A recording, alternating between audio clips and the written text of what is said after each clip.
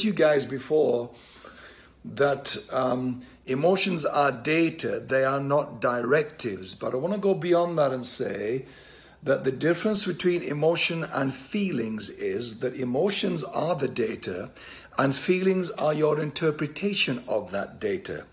And so, what I'm advocating is that you allow for a delay, I suppose, between the arrival of the incoming emotional data and what you make that become as a feeling in your life. And I think because we're not doing that, that the emotional data instantly determines what you feel, and that feeling instantly lodges in your life, and you now instantly begin to respond to, move in with, buy furniture with, get married to those feelings. And those feelings are not your feelings. Those feelings were never supposed to be your feelings. But because you didn't understand that data, the data of emotions, has to be sifted and edited and decided what they become in your life, they just instantly moved right in, pushed past the, um, past the uh, immigration and customs of your life, as it were. They, the data came straight over the border. You had no border control and the data instantly became your new set of feelings. And that's what you got to stop happening because you are not a victim um, of the emotional data. You are in charge of the emotional data if you'll allow time and say, well, hang on, slow down.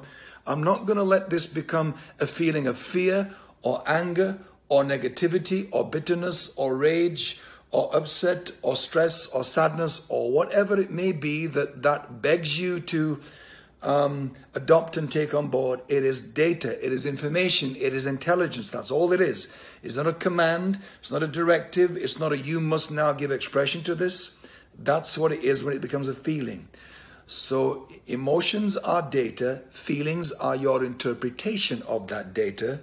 So, stop making them two things the same.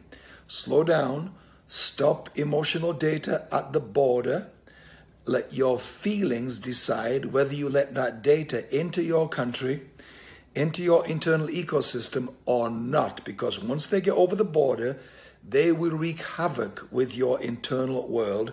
So you have to have more border control between incoming data of emotions and the feelings that get into your life and then take over your life. So feelings are the interpretation of emotions. They're not the same thing. Mm. Hope that helps you guys today. I love you. I'm sending love and greetings to you from beautiful Brisbane. I'll talk to you guys soon. Cheers. Bye.